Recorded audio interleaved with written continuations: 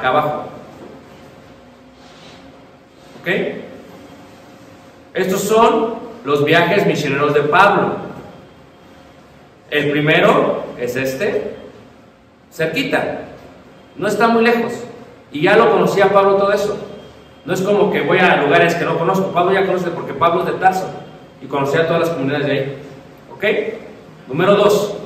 Luego que va en el segundo viaje misionero, regresa aquí. En el segundo viaje misionero hace esto.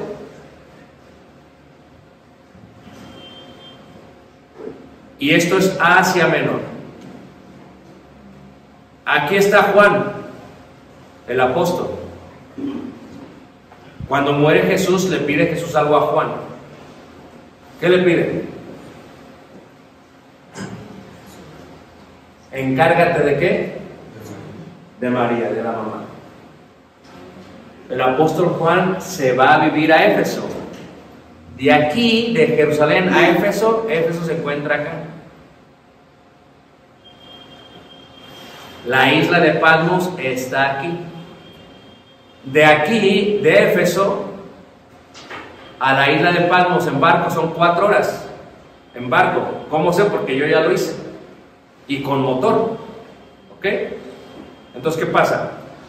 Aquí escribe Juan el Evangelio antes de morir.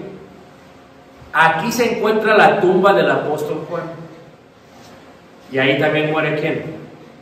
María.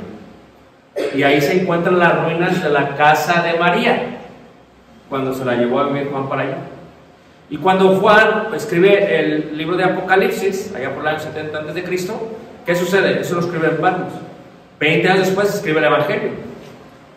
Entonces, por eso el Evangelio es muy teológico, es de teólogo, es de Dios. En el principio era el verbo, y el verbo era con Dios, y el verbo estaba con Dios, y el verbo era quién. Entonces, por eso es teológico. Entonces. ¿pero por qué? Todas estas herejías se están dando aquí. ¿Cuál es la religión que estamos hablando aquí? Anatolia. ¿Cuál es la religión del mar? Fenicios. Ok, aquí es Creta, aquí está Creta. ¿Cuál es la religión de acá abajo? Egipcios, cananeos, sidonios. ¿Ok? Griegos. Por eso hablamos de las religiones primero, para que vean qué es cada religión. Entonces, cuando tú ves el mapa, cuando se esparce la iglesia, ya empieza a haber herejías y apostasías. Pero cuando Juan está en Éfeso, Juan, eh, los apóstoles son gente que siguen enseñando a la gente. Yo te digo, fíjate tú. Por ejemplo, uno de mis más grandes maestros fue Samuel Solís Solís. No sé si alguna vez vino para acá. Un maestro excelentísimo. Excelentísimo. Pero se murió. Según el maestro, ¿qué? El discípulo. Entonces, tú ponte a pensar. ¿Por qué la gente, los jóvenes, no se quedan a vivir en Tecamachalco? ¿Por qué se van? Escuela, escuela. Van a ver escuela, es lo primero. Voy a ver una escuela. ¿A dónde se van, hermano? A Puebla. ¿Y si en Puebla no hay? ¿A dónde? Ciudad de México. Porque por excelencia la mejor universidad de todo Latinoamérica es la UNAM. De todo Latinoamérica es la UNAM. Ya de toda América, Harvard, Yale, Cambridge, ya es otra cosa. Pero de toda Latinoamérica es la UNAM. ¿Ok? Es la más importante. Entonces, quien se gradúa de ahí, ahora, pero en aquellos tiempos, si tú eres cristiano y dices, ok, yo quiero aprender más de la palabra de Dios, para empezar, para tener una copia de la carta,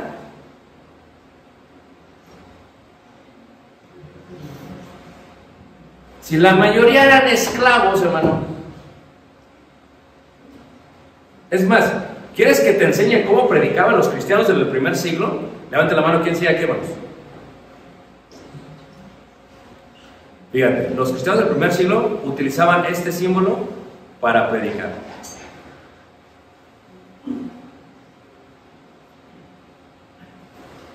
Si ves, es el símbolo cristiano más antiguo. Eran puros, eran puros eh, esclavos. El esclavo no sabe leer. El las escuelas las diseñó Roma, pero no enseñaban todas las materias del día de hoy. ¿Cuál era la materia que se llama oratoria? ¿Y quién entraba a la escuela? Los hijos de los senadores. La gente rica. No la gente pobre, no puede entrar a la escuela. Eso de que el día de hoy haya escuela es una gran bendición, porque no había escuelas antes. Entonces, cuando eran esclavos, no sabían leer ni escribir, pero oían del Evangelio. ¿Y ellos cómo predicaban? Ellos lo único que utilizaban era este símbolo. Si ven esta rueda, esta es una piedra de las ruinas de la iglesia de Cristo en Éfeso. ¿Ok? Levanta la mano que llega Esto es una rueda, una línea, otra línea, otra línea, otra línea. Así predican. Este símbolo lo encuentras en la iglesia de Cristo en Sardis, en la iglesia de Cristo en Éfeso, en la iglesia de Cristo en Éfeso, Sardis, Pérgamo, Esmirna. Encuentras en todo lado está este, este símbolo. Porque lo usaban los esclavos. Ahora, ¿qué significa? Te lo voy a explicar. ¿Quién sabe qué significa? Te lo voy a explicar. ¿Listos? Ya aprendimos la religión de los brahmanes. Ahora les estoy enseñando un poquito de griego. ¿Ok? ¿Listos? Va. Aquí hay letras griegas. La primera es la I. La segunda es lo que se llama como la X. La tercera es otra letra. Y son mayúsculas. ¿Ok? Esto es la letra J para nosotros, Oyi, Jesús, Yeshu. Esta es la letra C para nosotros, Cristo, Jesús Cristo, Tuteo, de Dios, Hijo, Hijo, el Salvador. Estas cinco letras se encuentran en el símbolo. ¿Quieren verlas? ¿Están aquí todavía, hermanos? ¿O los mando a break? Primera, Jesús, Cristo, Tudeo, Hijo, Salvador. Primer símbolo. Segundo símbolo de la iglesia primitiva, el pez.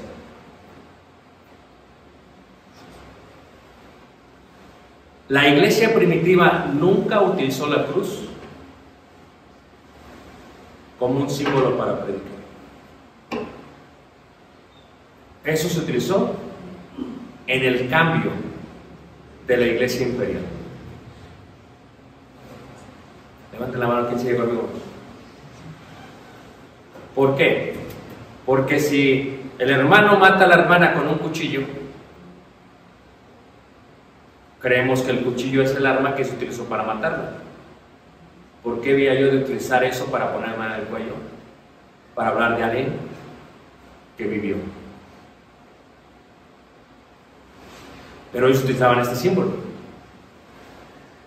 Y entonces cuando ellos estaban predicando, hermanos, cuando ellos estaban predicando y cuando ellos predicaban, si yo me quiero ir a estudiar, había tres bibliotecas importantes en la antigüedad. Había cinco ciudades importantes en la antigüedad. ¿Ok? Pero había tres bibliotecas grandes. Número uno, la más importante, Alejandría. ¿Quién estaba ahí cerca? Marcos. Marcos. Él fue el que estableció la iglesia bien, bien en Egipto. Ya vimos la evidencia del segundo siglo después de Cristo. Segundo lugar, segundo lugar, Pérgamo. Tercer lugar, Éfeso. ¿Por qué Pablo se quedó tres años en Éfeso? Por eso. Y por eso puso una escuela. ¿Sí ves? Cualquiera hubiera dicho, llévatelos mejor a Jerusalén. No. Tienen que estar ahí, porque de Éfeso se esparcen todo hacia qué? No solamente hacia Menor. En Éfeso está el puerto para que pueda salir hacia Macedonia y Grecia. De ahí tenía que ser. Es bien estratégico. O sea, si vamos a ver una escuela, no va a ser en Tecamachalco, con el perdón de todos. Tiene que ser en un lugar estratégico. Para que de ahí que se abra. Tal vez pueda ser que un lugar estratégico. Un lugar estratégico donde haya mucha gente, donde se conecte por razones comerciales y donde haya gente preparada. Ahí la vamos a poner. Es lo que se tiene que hacer. Ahora, si yo quiero aprender, me voy a esos lugares, pero si yo quiero aprender de la Biblia, me voy a estudiar a los pies de quiénes? De los apóstoles. Ahí sí está difícil, ¿a? Porque tengo que ir a estudiar a los pies de ellos.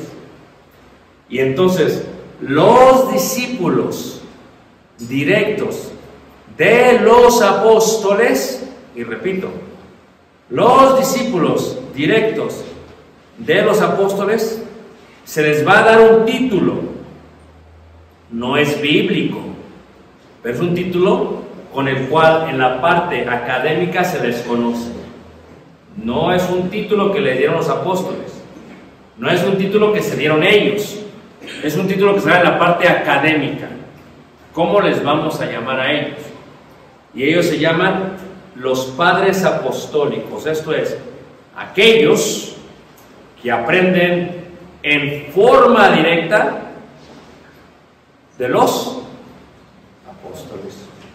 Número uno, uno de ellos se llama Clemente de Roma, del año 91 al año 100 después de Cristo, discípulo de Pablo.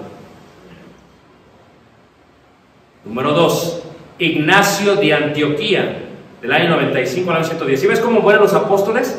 y son los discípulos de los que continúan. Este discípulo es discípulo de Juan el apóstol y por 40 años sirvió como anciano en la iglesia de Antioquía de Siria. Ustedes saben que hay dos Antioquías, ¿verdad que sí? Hay dos Antioquías, hay dos Antioquías. Como hay dos Monterreys, Monterrey, Monterrey Nuevo León, Monterrey California. O sea, eso es normal. O sea, hay dos. Depende de nosotros, dos es lo mismo que Entonces, Ignacio de Antioquía. Número tres, Bernabé. Este es el que se cree fue compañero de Pablo. Bernabé. Ahora, ¿de quién aprende Bernabé, hermanos? De Pablo. Mira, cada uno tiene su don. Hay hermanas que cocinan muy rico. Hay hermanas que comen muy bien. Cada uno tiene su don. Hay hermanos que predican muy bien y otros que escuchan muy bien. Cada uno tiene su don, hermanos. ¿Todos están de acuerdo, hermanos? Hay hermanos que escriben muy bien y hay hermanos que leen muy bien. Cada uno tiene su don. Nadie tiene que ganar el lugar nadie, pero cada uno tiene su don. Tienes tú que entender que cuando iba Bernabé y Pablo, dicen que los griegos, cuando llegaron a Derbe, hermanos, los confundieron con los dioses griegos. ¿Con quién? Júpiter muy bien. ¿Y? Ah, Júpiter y qué hermano? Mercurio, Ah, ¿por qué Mercurio? porque era el dios del trueno, porque era el que llevaba la, la Exactamente. palabra. Eh, era el, el mensajero. El mensajero. ¿Tú has visto al Flash en la Aurora de Mármol, o de la, del DC, perdón? ¿Has visto las, las películas? ¿Saben qué trae el Flash aquí? Pues es Hermes, es Mercurio. O sea, es, es la misma, misma gata que. Es lo mismo, hermano. Les estoy diciendo desde cuándo que es lo mismo, pero ustedes no entienden. Es lo mismo. ¿Tú ves Aquaman? Es lo mismo. ¿Tú ves la película Sirenita? Es lo mismo. Es lo mismo, son, se hacen dioses, dioses modernos. Ahora, cuando tú ves aquí a Bernabé, él del año 70 al 120. Tenemos a Policarpo, número 4, Policarpo del año 115 al año 156. Este estuvo, fue apóstol de Juan. Fíjate, Juan ya tiene a Ignacio, Juan ya tiene a Policarpo, Pablo ya tiene a Clemente, Pablo ya tiene a Bernabé. Luego tenemos a Papías, del año 125 al año 150 después de Cristo. Papías fue discípulo de Juan y sirvió como obispo de la iglesia en Hierápolis de Frigia. ¿Dónde está Hierápolis? Levanta la mano y dice, no sé ni de qué me estás hablando. A ver. En griego, polis es ciudad. Por eso se llama la policía, la que pone orden dentro de la comunidad. Ciudad. Acrópolis, la ciudad alta. Acros, alto, polis, ciudad. Eso en griego. Entonces, este Papías era de Hierápolis. Hierápolis está a un lado de lo que se conoce como Comucale. Y tú dices, ¿eso qué es? El castillo de algodón. ¿Y eso qué es? Déjame hablar. De ahí salen las aguas termales de las cuales habla el apóstol Juan en la carta a la iglesia de Cristo en la Odisea. ¿Dónde está la Odisea? A 30 minutos de Hierápolis. ¿Quién, ¿Quién está enterrado en Hierápolis? Felipe. Felipe. ¿Dónde está Juan? Éfeso. ¿Dónde mataron a Marcos? Alejandría. ¿Dónde mataron a Tomás? En la India. Mañana, de memoria, cada uno de los apóstoles y dónde murieron. Amén. No los oigo. Hace rato las mujeres, amén, hermano, sí, nosotros mandamos. ¿Qué pasó ahorita? Ok, ya llevamos aquí cinco padres de la, de apostólicos. Realmente son lo que se llamaría más correctamente obispos de la iglesia. Es la más palabra más correcta, obispos de la iglesia. Pero no hablo de la iglesia católica, porque el obispo era un pastor, era un anciano en el organigrama gobierno espiritual de la iglesia de Cristo. Tenemos también a Hermes, Hermes, ¿ah? Pablo lo menciona en Romanos 16, 14, este es un obispo de Roma. Número 7, a ver, a ver, aquí, ahí está. Estos son, a ver, a ver, me falta uno. Muy bien. Estos son los padres apostólicos. Levántame que me sigan. Por lo tanto, ellos, lo que hacen ellos, cuando se mueren los apóstoles, mira, en la Biblia no dice cómo murieron todos los apóstoles, solo un apóstol. Jacobo el mayor. ¿Quién lo mata? Herodes. Luego, ¿cómo muere? Mientras está dando el discurso. ¿Hechos? Sí. ¿Estamos todos aquí o no? Ok. De los demás se habla de cómo van a morir o cuándo han de morir. Como Pablo dice, ya estoy para ser que sacrificado, ¿verdad? Como en el caso de, de, de, de Pedro, se le dice, eh, te van a llevar donde no quieres. Juan capítulo 21 dice. Ahora, estos hombres, cuando mueren los apóstoles, a ver, para ser obispo, pastor o anciano, para ser obispo, pastor o anciano, hay requisitos que sean de qué, hermanos? De cumplir. ¿Eh? En la sinagoga, ya en la sinagoga existía la idea del gobierno espiritual. Esto no lo establece la iglesia de Cristo. Esto ya existe en la sinagoga. Por ejemplo, en la sinagoga, lo que nosotros conocemos como ancianos, obispos o pastores, se le llama en la sinagoga los principales de la sinagoga.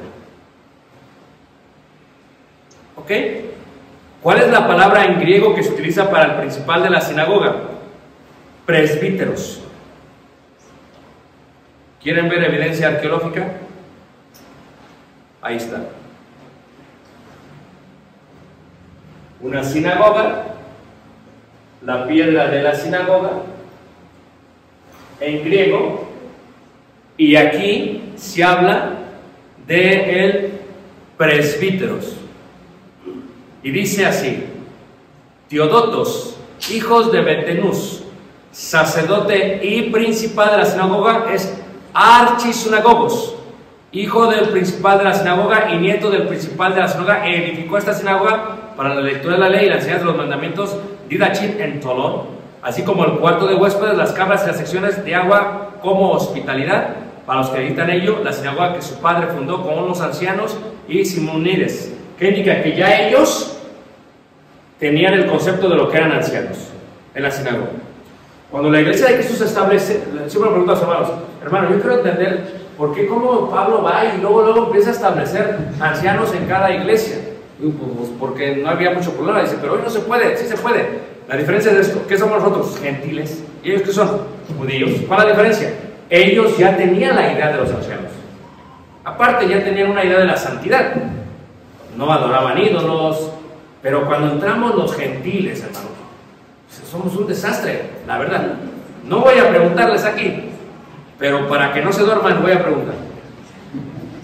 ¿Qué era un desastre aquí? Miren, vamos a levantar la mano. No volteen a ver, no apunten, no digan. Pero aquí a quién le gustaba, quién era alguien que le gustaba tomar. La verdad, levante la mano, no, no sé. La, levante la mano hasta arriba. No pensé, hermano, pero cada quien. La hermana. Tomar. Le gustaba irse de parranda, de fiesta. Levante la mano, levante. Le gustaba bailar.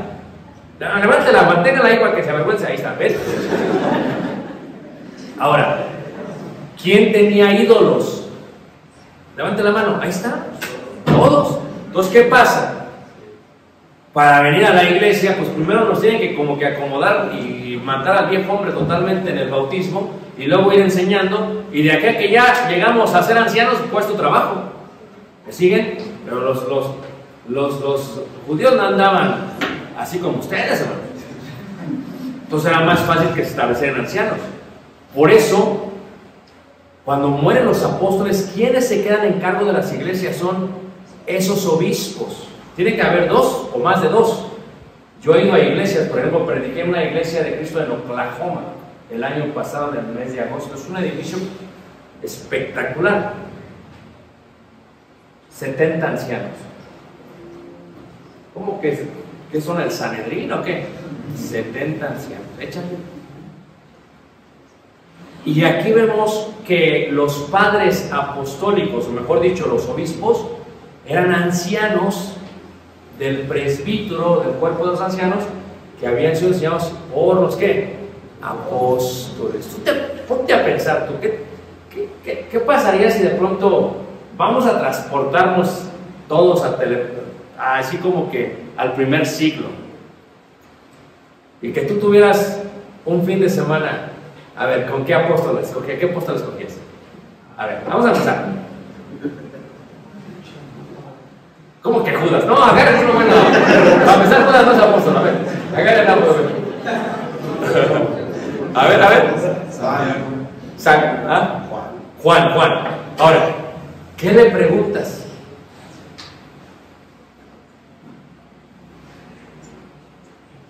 ¿Sí te fijas? ¿Sí, sí te fijas? Mira, nosotros cuando fuimos a Cuba, estábamos predicando con hermano. Oye, chicos, eh, tú dígale predicando. Yo dije, yo ya terminé, a las nueve ya terminé. Digo, no, tú no vas a terminar. Sigue. Porque aquí te tenemos poco tiempo. Tú sigue. Dije, no, yo, te- tú sigue. Yo aquí dije a las ocho, terminé y todos, sí vamos a comer. ¿Sí ves la diferencia? ¿Sí ves la diferencia? Tenemos hambre de acá. Es normal, teníamos hambre, yo también tenía hambre, por acabé. Sigamos. ¿Qué le preguntarías? Estos eran discípulos directos de los apóstoles. Fíjate qué hermoso. ¿Cuánto no sabían? Entonces, si alguien va a preguntar, oye, pregúntale a Juan, no, que Juan se murió hace dos años. ¿Cómo que se nos murió Juan? ¿Y ahora qué vamos a hacer? Ah, pero el obispo, el obispo Policarpo, el cual es obispo de la iglesia de Cristo de Esmirna, ve a Esmirna, él aprendió a los pies de Juan. Él va a saber. ¿Todo está siguiendo? Y los escritos de ellos no entran en el canon. Pero escribieron. Porque ¿cuánto trabajo cuesta escribir? A ver, ¿quién está casado aquí? Levanta la mano. Pero enamorado. Hermano de los hu- huracanes. Hurricanes, sí. ¿Cuándo fue la última vez que le hiciste una carta a tu esposa? Sea honesto, porque ella aquí está. No, no texto del teléfono, carta. ¿Cuál texto? No, casa, carta. ¿Sí ves? Sí. En mayo. En mayo. ¿Cuántas hojas? Eh, Una nada más. Una página. ¿Por los dos lados? Por un lado. ¿Qué hacemos hoy para comunicar nuestro amor? Por texto. Es más, nos da flojera escribir todo. TQM. Ya. ¿Qué hacemos? Le ponemos un corazón y ya. Pónganme atención, ¿ok? Porque escribir cuesta qué? Trabajo. Ahora, estos aprendieron y escribieron mucho, pero no son los apóstoles. No se consideran canónicos, pero hasta el día de hoy puedes leer sus escritos. Pero no son, no son apóstoles. Y los libros están largos, bonitos, concesos. Ahora, se requiere mucho cerebro para leer, pero también para qué vamos? Para escribir. Una vez me dice una hermana, a ver, hermano, ¿tú cuánto tienes tiempo para escribir? Pues si estás por todos lados. Digo, no sé, pero yo escribo. Y dice una hermana, hermano, ¿usted no ha pensado que, ¿por qué no? Después de escribir un libro, ¿por qué no lo lee? Se graba, lo pone al internet para que nosotros oigamos. Oigamos.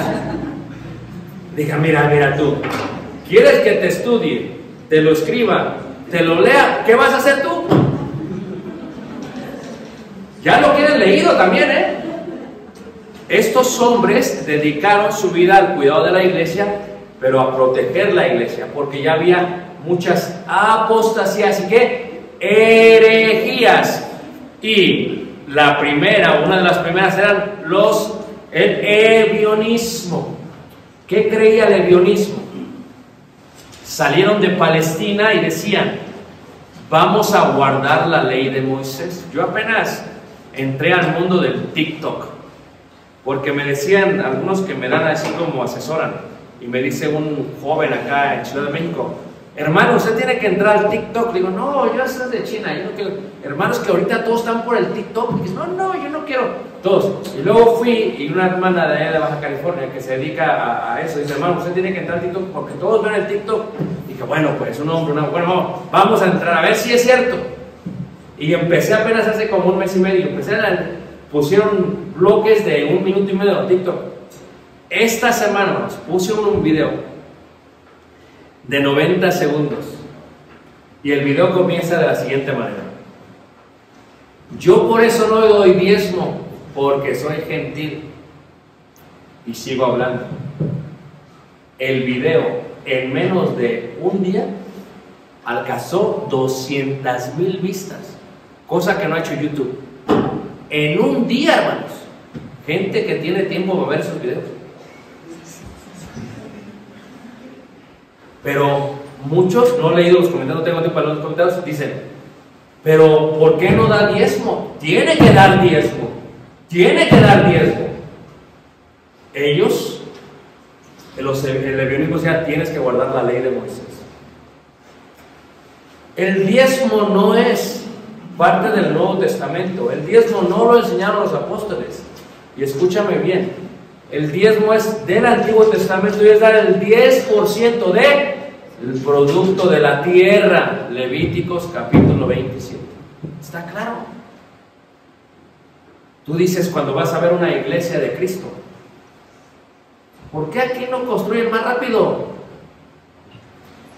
¿Qué, ¿Por qué? ¿Qué pasa? Nos ven los que guardan el diezmo. Yo cuando venía ahí por la carretera Ciudad de México-Puebla, vi el estadio del equipo de fútbol de Puebla. Y antes vi un templo que es como una vela de la luz del que. Estos ya levantan sus templos así. Pero tienes que dar tu diezmo. Y la contribución para el pastor. Y contribución para esto, y contribución para esto, y contribución. Pues, ¿cómo no van a levantar templos? Pero nosotros, si la Biblia no lo enseña, no, no, no lo enseñamos, porque hacían los discípulos. La iglesia primitiva. Y el hebraísmo dijo, tienes que guardar la ley. El hebraísmo decía, no nacimiento virginal de Cristo, o sea, que Cristo no había nacido de, de una virgen. ¿De dónde sacaron estos? Ellos decían, Cristo se fue antes de la resurrección. Y ellos decían, Cristo extraordinario guardando la ley, por eso lo tenemos que hacer. Ellos decían, entonces tenemos que ser como los Gálatas. Judaizar a la gente. Judaizar a la gente. Muchos hermanos en la iglesia de Cristo pueden perder el piso por el conocimiento. Y pueden empezar a qué, A judaizar. Llega el hermano y llega el convivio. ¿Qué hicieron de comer? Chicharrón. No, yo no como chicharrón porque la ley dice que no hay que comer cerdo. Míralo. Jabón sí, tocino, pero chicharrón no. Si es lo mismo. Dice el hermano. ¿Todos me están siguiendo? Quieren judaizar. ¿Ustedes han escuchado de la denominación los eh, eh, eh, adventistas? Ellos son como los feministas. Igualitos. No hay nada nuevo debajo del sol. Esto desde el año 100 después de Cristo ya estaba pasando. Número 2. Otra apostasía del primer siglo. Los gnosti, el gnosticismo. Se esparcieron por Mediterráneo. Eran bien paganos. Fíjate que dentro de la iglesia también hay mucha gente muy pagana, pero ya es otra cosa. Eran bien paganos. Seguían las enseñanzas de Platón, que era un filósofo de la filosofía de la edad clásica, griega. Eh, era, eh, eran griegos, egipcios, seguían todos estos tipos de religiones. Y el gnosticista era el que decía, ellos creían en lo que es el dualismo. Levanta la mano, ¿quién nunca ha escuchado del dualismo? El dualismo decía, mira, el ser humano está hecho de carne y de espíritu. Esto es correcto. Dice, yo con la carne, decían ellos, le puedo servir a la carne. No le afecta mi espíritu. Y con el espíritu le puedo servir a Dios. Decían, yo si quiero echarme un tequila y un mezcal, o mezclarlo con tepache, no hay problema me lo tomo y me emborracho. Porque mi cuerpo físico es otra cosa. Pero el espíritu, aunque esté bien borracho, sigo sirviéndole a Dios. Eso decían los gnósticos. A ver, ¿quién dice eso también? Fíjate tú, cuando yo salí de la religión popular, ahí no importa cómo llegues, si llegas crudo el día domingo en la mañana, con que tú des tu qué, se acaba todo. Ellos crean, y esto lo veremos, ¿verdad? Mañana, si os permite, en la Iglesia Católica Romana, ellos diseñan el concepto de qué? El concepto de las indulgencias en el año 1190 después de Cristo. Estamos hablando de mil años después de Cristo, hermanos. ¿Cómo puedes decir que la Iglesia Católica es la primera? Si lo, se lo inventaron mil años después. Y ellos dicen, mira, ¿qué hiciste? Tú nomás te vas y te metes al cuartito con el sacerdote del cura. Tú le dices y ya te perdonó. Ve, reza tantos padres nuestros. Tienes que dar una ofrenda a alguien y ya se te perdonó. Entonces salía el borracho y iba, voy, voy, le- me meto al cuarto, voy, me meto al cuarto, voy, me meto al cuarto, voy, me meto al cuarto. Y eso no se pone hasta esto. Pero esto es algo que ya creían quiénes, hermanos? Los gnósticos. Levanten la mano, ¿quién nunca había escuchado de esto? ¿O ya sabían? Entonces, ¿para qué se nos enseña? A ver, ¿quién nunca había escuchado? Para saber si vamos bien. Los marcionistas. Marción fue un hijo del obispo de Roma. Ponte a pensar, y aquí está mi hijo Caleb, tiene que poner mucha atención. A veces los hijos son los que deshacen todas las cosas en la iglesia. Va todo bien bonito, los hijos deshacen toda la iglesia. ¿Por qué decimos eso? Porque los hijos creen que tienen ciertos derechos. No, es que mi papá edificó aquí y yo soy el hijo y aquí yo mando. ¿Y qué sucede? En muchos lugares se edifica la iglesia para los servicios, pero la iglesia nunca notariza el nombre de la iglesia, las tiene el nombre del hermano que empezó la congregación, se muere el hermano, el hijo queda intestado y saca toda la iglesia del edificio. Y este es mi edificio, dice. O sea, porque a veces se hace un desastre. Entonces, ¿qué sucede, hermanos? Es los marcionistas, que es Marción, hijo de obispo en Roma 138 después de Cristo, dividió la iglesia en el año 144 después de Cristo y decía, Dios es malo. Fíjate cómo lo veía. El Dios del Antiguo Testamento, decía él, es malo. El Dios del Nuevo Testamento es bueno. Decía, y decía, Cristo es un fantasma, la carne nada que ver con el espíritu. Tenía una mezcla de la filosofía griega. Así hay a veces entre nosotros. Se meten unas ideas, hermanos. ¿Quién sabe dónde se las sacaron? Entonces, ¿qué pasa? Estos también son otra herejía. El montanismo, 150 después de Cristo, en Frigia, decían el fin está cerca, cerca y tener un ascetismo del celibato. ¿Saben qué es el ascetismo? Levanten la mano, ¿quién no sabe qué es el ascetismo? Ok. Es la idea de abstenerte de los placeres.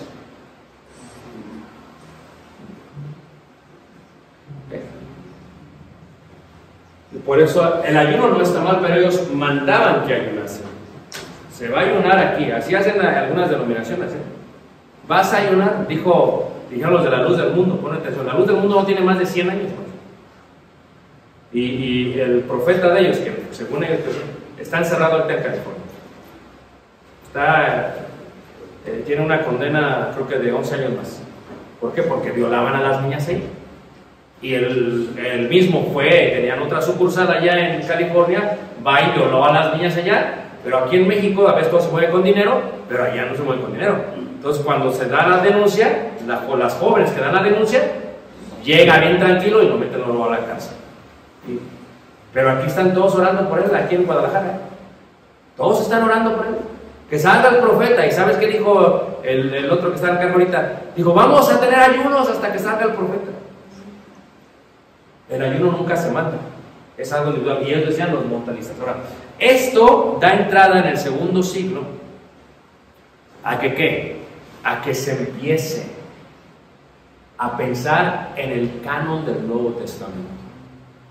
Porque si los marcionistas dicen esto, ¿cómo les podemos refutar que sí o que no?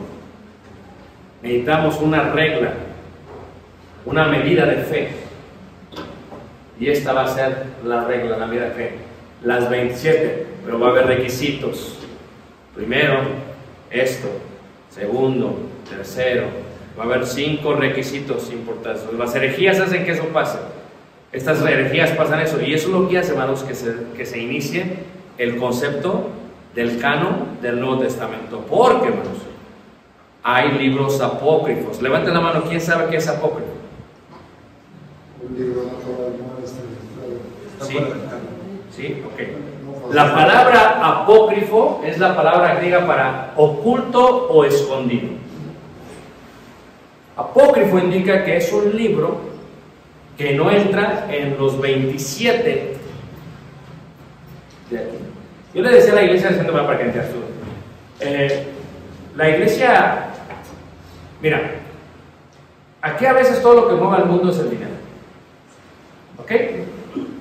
Entonces,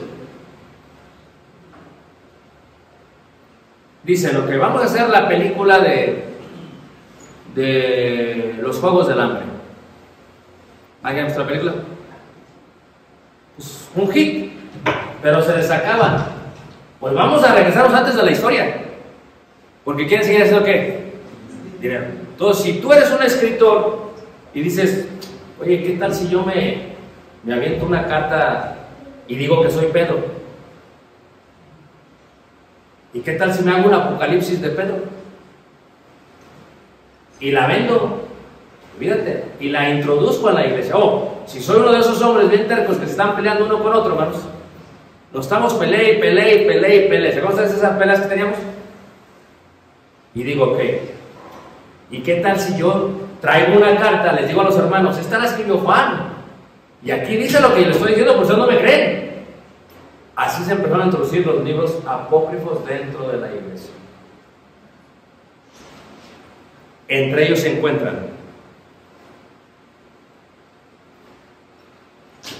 el Evangelio de Marción. ¿Recuerdan los marcionistas? Eso hizo su propio Evangelio. Se encuentra la epístola de Bernabé, el Evangelio de Judas, el Evangelio de Santiago, el Evangelio de Tomás, el Evangelio de María Magdalena. Yo tengo ahí en la casa, en su casa tenemos una librería, ahí tenemos los libros, ahí tengo el libro de los libros. Y yo ya me los eché, tengo que leerlos. pues. Torcidos. ¿Y sabes cómo te das cuenta que no los escribieron los que dicen que los escribieron? Eso lo vamos a ver después del descanso. Porque yo ya me cansé. Y ustedes también. ¿Y te has quedado un descanso? Diez minutos. Ya pasaron dos horas, ¿sabieron? Ya casi acabo. Dos horas nos echamos aquí. Digo, ni lo sentí. Pues no, vamos a te acabas de despertar. Pues no lo sentiste. Vamos a tomar un descanso de 10 minutos, ¿ok, hermanos?